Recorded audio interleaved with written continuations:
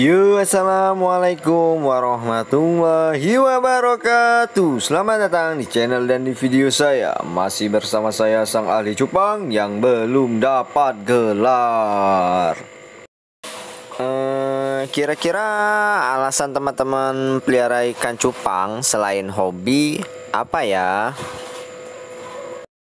Nah, salah satu faktor orang untuk memelihara ikan cupang karena adanya kontes. Nah, di video kali ini saya akan mengenalkan kategori warna yang sering dijadikan kelas dalam penilaian kontes.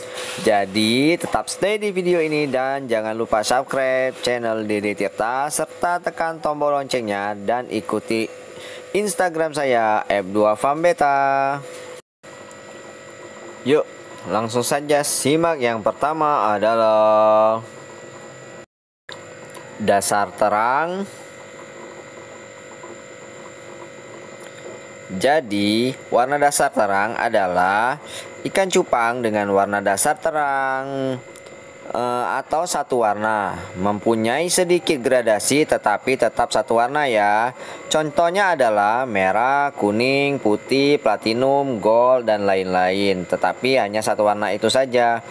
Jadi, ini kategori yang sangat-sangat umum atau yang pertama kali digunakan karena warna-warna gradasi seperti warna-warna ikan koi ataupun ikan black series baru-baru muncul di tahun 2010-an. Nah, itu dia ya. Jadi kita langsung saja yang kedua adalah dasar gelap.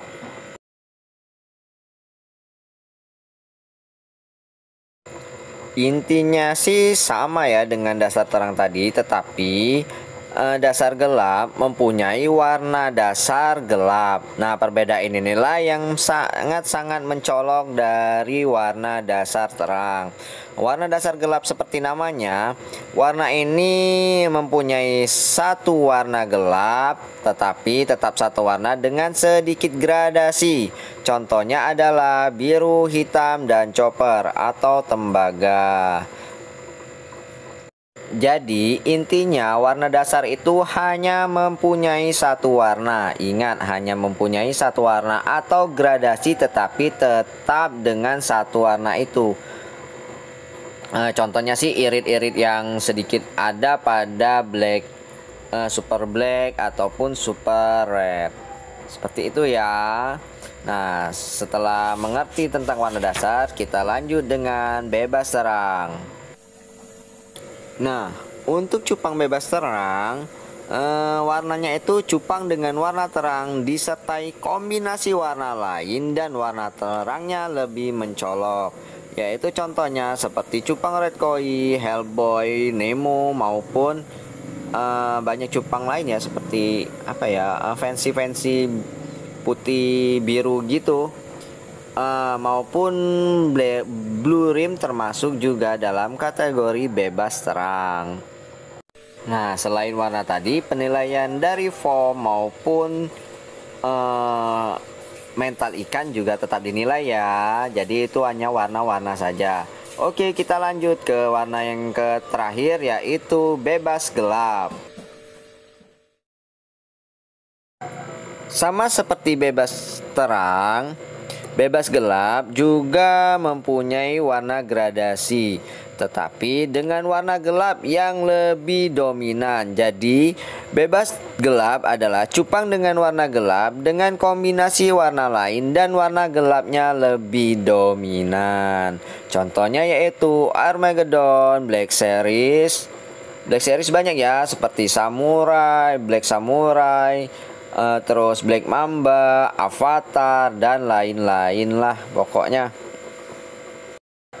Oke, seperti biasa, untuk memperjelas perbedaan antara dasar terang, dasar gelap, bebas terang maupun bebas gelap, saya sudah membuatkan apa ya, semacam tabel perbandingan lah antara keempat ikan yang sering dikonteskan menurut kategori warna.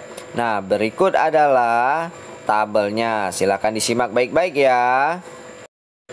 Nah, ini adalah dasar terang ya. Jadi hanya satu warna terang dengan sedikit atau hampir tidak ada gradasinya. Nah, yang ini adalah dasar gelap. Satu warna gelap dengan sedikit atau hampir tidak ada gradasinya. Walaupun ada hitam-hitamnya sedikit. Nah, ini adalah dasar terangnya. Eh, bebas terangnya maksud saya warna terang dengan kombinasi warna lain, tetapi mempunyai gradasi full tetapi warna terangnya lebih dominan. Dan yang terakhir adalah bebas gelap. Warna gelap dengan kombinasi warna lain dengan gradasi full atau e, banyak kombinasi. Tetapi warna gelapnya lebih dominan. Oke, mudah-mudahan teman-teman mengerti perbedaan-perbedaan atau kategori warna cupang yang sering dikonteskan. Nah, sampai di sini dulu video kali ini. Jika kalian suka silahkan like dan jika bermanfaat silahkan share sebanyak-banyaknya. Apabila ingin bertanya silahkan tulis di kolom komentar maupun ke Instagram saya F2fanbeta. Jangan lupa subscribe channel Dede Tirta dan tekan tombol loncengnya untuk mendapatkan notifikasi dari channel ini. Saya Tirta pamit. Assalamualaikum warahmatullahi wabarakatuh.